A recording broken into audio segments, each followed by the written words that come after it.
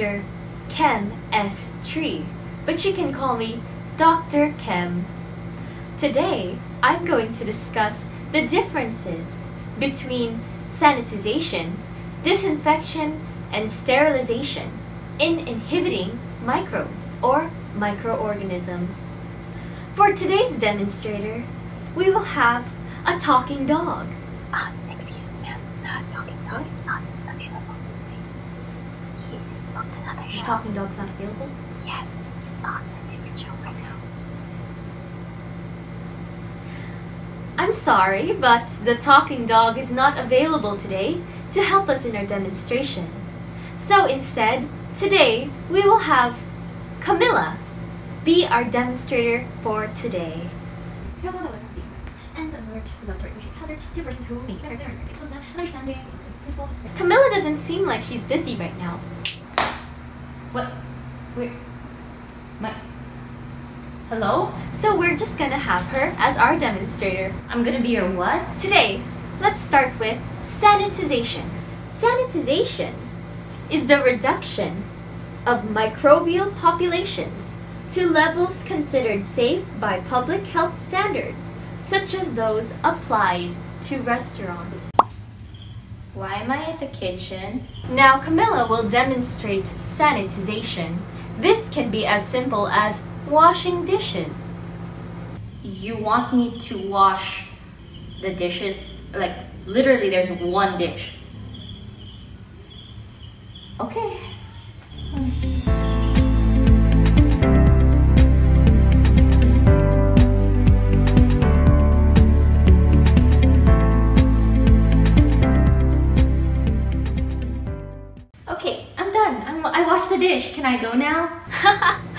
You're not done yet, Camilla.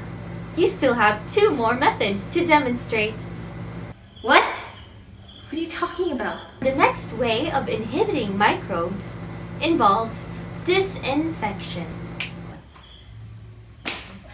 What? Disinfection describes the elimination of most or all pathogens except bacterial spores from non-living objects.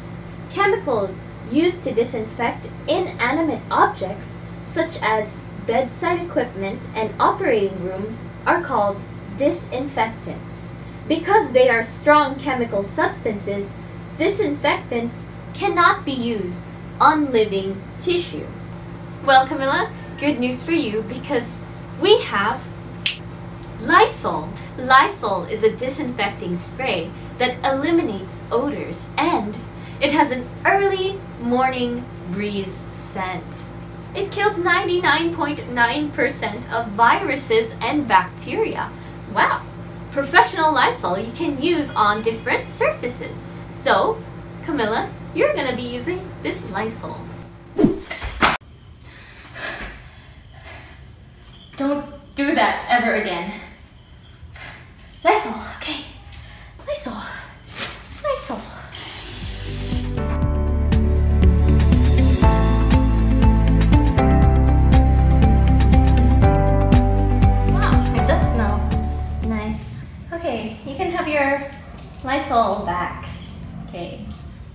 Here. Not throwing it at anyone. Is that it? Perfect. And now we are at our last term for this episode sterilization. Wait, what? Okay, last, last one. Last one.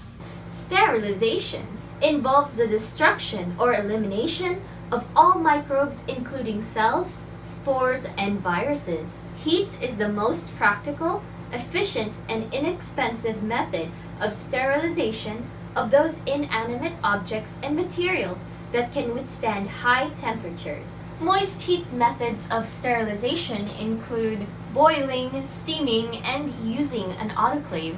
But since Camilla does not have an autoclave machine, we are going to demonstrate a moist heat method of sterilization, which is boiling. Oh my gosh. This is the last step. Boiling, right? Boiling. Stop giving me such weird objects. Okay. Okay, now we're just gonna wait.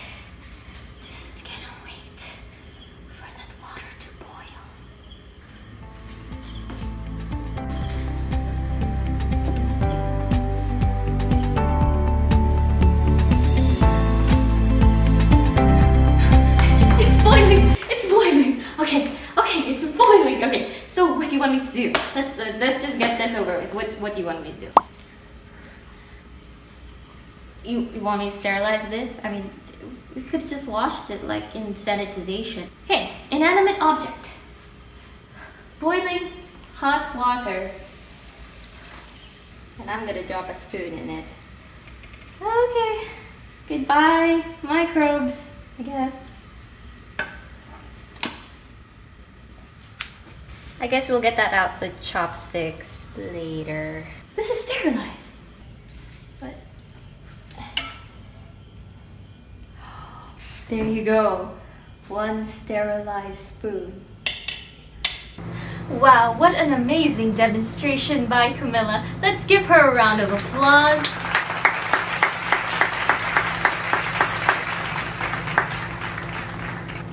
She may go back to her usual life now.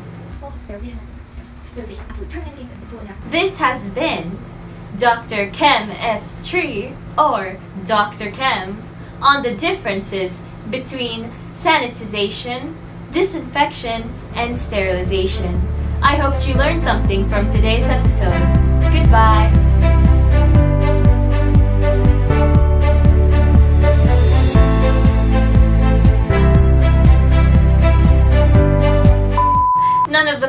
You've seen today were sponsored. I wasn't sponsored. Please like and subscribe for more content.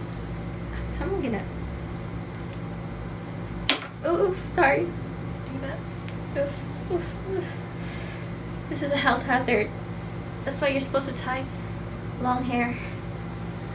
Okay. Always tie back long hair. I'm just doing this for the video. okay, let's just get this over with because I cannot see.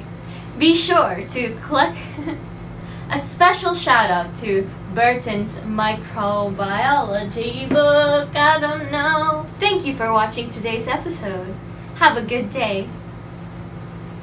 Bye bye. Bye bye. Bye bye.